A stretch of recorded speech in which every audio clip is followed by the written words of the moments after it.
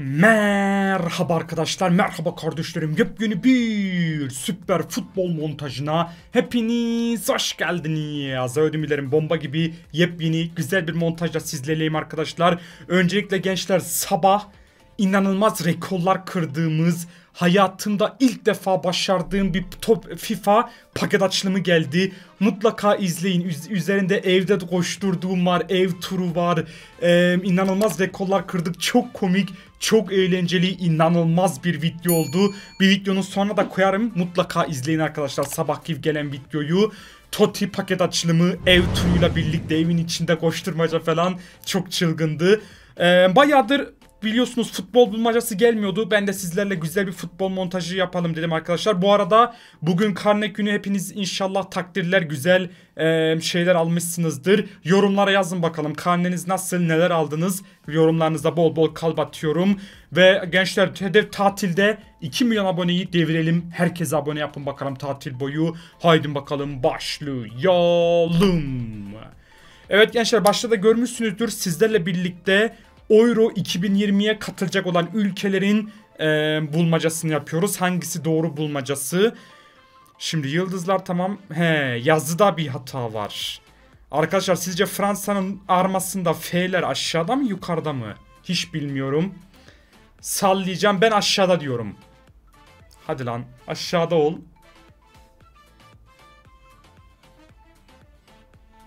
Yeah! Aşağısı doğru. Şeffaflaşan yanlış arkadaşlar. İşte bu be. Fransa FFF. Birde birle başladık. Gençler önce siz cevap verin. Benim cevabım sizi etkilemesin. En sonda ben cevap vereceğim. Şimdi burada bu iki tane Portekiz arması var. Birinin ara- ortası sarı, birinin ortası mavi. Evet, sizce hangisi? Ben cevaplayacağım ikide. Ben mavi hissediyorum gençler, mavi diyorum. Mavi olan doğru. Hadi lan. Yeah! Portekiz bayrağını da biliyoruz. Evet gençler 2'de 2. 2'de 2. Çok iyi. Evet. Oha burada ne farklı lan? Oo çok zor arkadaşlar. Kırmızı beyaz kırmızı beyaz diye mi gidiyor? Beyaz kırmızı beyaz kırmızı mı gidiyor diye arkadaşlar. Bakın birinde ilk beyazla başlıyor. Birinde ilk kırmızıyla. Sallayacağım tamamen. Bana kırmızı daha güzel durdu gibi kırmızı diyorum. Sağ taraf. Hadi lan kırmızıyla başlıyor. Hadi lan. Yo, hem salladık hem de demek ki aklımın bir yerinde kalmış. 3'te 3. İşte bu be. Evet gençler siz de skorlarınızı sayın ve bulmaca bittiğinde yorumlara yazın. Aha İspanya bayrağı. İspanya bayrağında ne farklı? Plus Ultra 1909. Oğlum fark, neyin farklı olduğunu bulamadım. He arkadaşlar Aslan'la Şato'nun yeri ayrı ikisinde de. Sallayacağım. Bence sol doğru. Bence Aslan böyle sağa doğru bakıyordur. Hadi lan. Hayır. Bu sefer salladım tutmadı. Sağ taraf doğruymuş. 3 doğru bir yanlış oldu gençler. 4'te 4 ile gidenlere helal olsun. Evet Almanya. Arkadaşlar Almanya'yı bilmem lazım. Kaç yıl yaşadım orada.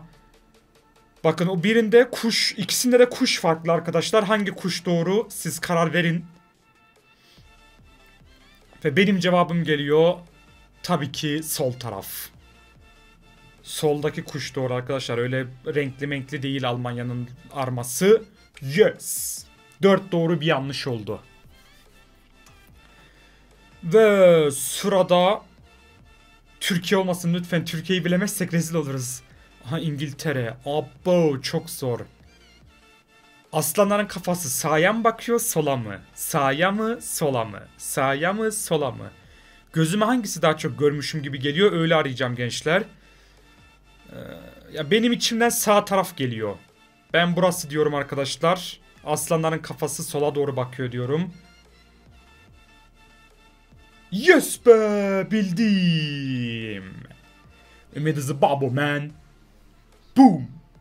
Arkadaşlar 5 doğru bir yanlış oldu. Bir tane yanlış bildik şimdiye kadar. Aha. Hollanda arması. Şimdi Hollanda'da yazı sonra logo mu? Logo sonra yazı mı? Gençler ben önce logo sonra yazı gibi düş hissediyorum. Ve son kararım sağ taraf diyorum. Önce aslan resmi sonra yazı. Hadi lan. Hadi lan.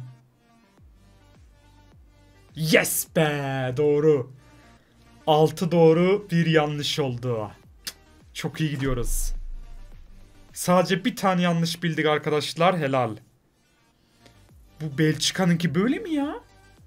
Arkadaşlar Belçika'nın armasını ilk defa gördüm. Oha acayip garipmiş. Şimdi Belçika bayrağı soldaki. Siyah, sarı, kırmızı. O yüzden ben soldaki diyorum gençler. Ama fake de olabilir. Ben soldaki diyorum. Siyah, sarı, kırmızı. Yes. 7 doğru, bir yanlışla devam ediyoruz. İşte bu. Ve İtalya. Aha bu da çok zor. Arkadaşlar İtalya'da 1898 mi yazıyor ortasında topun yoksa FIGC mi? O ne demek onu da bilmiyorum. FIGC ne? Gençler bence rakam yazıyordur ya. Çünkü FIGC'ye bir anlam çıkaramadım. Ben rakam diyorum. 1898 olan doğru. Sol.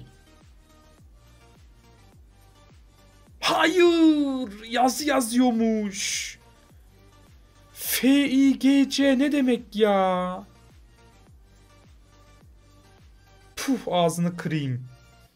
İki yanlış oldu be. Evet arkadaşlar burada İsveç'in logosu. Futbol topu mu var, voleybol topu mu? Futbol topu mu var, voleybol topu mu? Üst tarafta. Gençler futbol topu mu, voleybol topu mu? Bu bir fake de olabilir. Bence bu bir fake. Ben o yüzden voleybol topu diyorum. Çünkü arkadaşlar eskiden toplar o şekildeydi ya belki öyledir. Hadi lan. Eski top dedim. Yes be. Fake yemedim. Fake yemedim.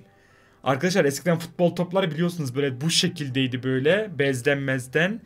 Oradan iyi kestirdik. Ve gençler sıradaki aha Gareth Bale'in ülkesi Galler. Şimdi Galler'de ejderha sağa mı bakıyor sola mı? Yine çok zor çok zor. Ee, acaba hangisi doğru ya? Gençler bence sol gibi hissediyorum. Böyle sola doğru bakıyor diye. Ben sol diyorum. Sola doğru bakıyor bence. Hadi lan. Hadi lan. Hayır ya. Hayır ya. Salladım tutmadı ya. Üçüncü yanlışım oldu. Ağzını yüzüne burnunu kırayım. Ah kalbim. Kalbim ağrıyor anne. Evet Polonya. Polonya'da arkadaşlar kuş kırmızı mı yoksa sarı mı? Ayakları, çekiçler falan. Gençler bence kırmızıdır ya. Çünkü Polonya bayrağının sarıyla bir alakası yok. Ben kırmızı diyorum. Kırmızı olan şeyler Polonya bayrağı. Arması. Hadi oğlum lan. Hadi lan. Ama yeter artık. Ah kalbim kalbim acıyor anne yine yanlış bildim. Dördüncü yanlışım oldu. Neredeyse yüzde elliye düştüm be. Arkadaşlar 6 doğru 4 yanlış veya 7 doğru 4 yanlıştayız ama çok yanlış yaptık be. Rusya'nınki kırmızı mavi beyaz mı? Beyaz mavi kırmızı mı? Gençler Rusya'nınki ne? Bence beyaz mavi kırmızı.